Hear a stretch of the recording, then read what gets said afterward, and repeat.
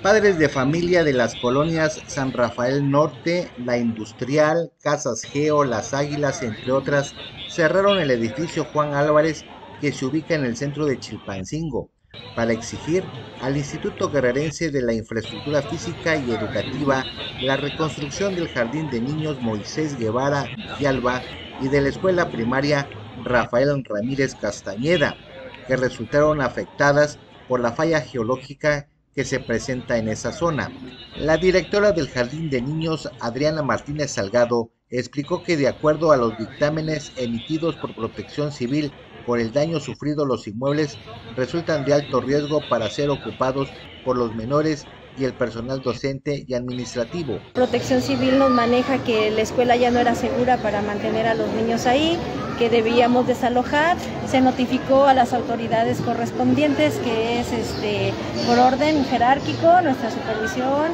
y la Secretaría de Educación, de que ya no podíamos estar en el edificio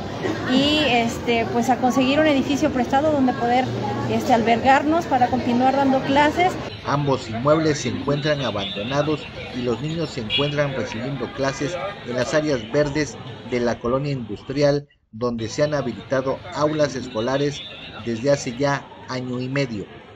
RTG Noticias, Felipe Zurita.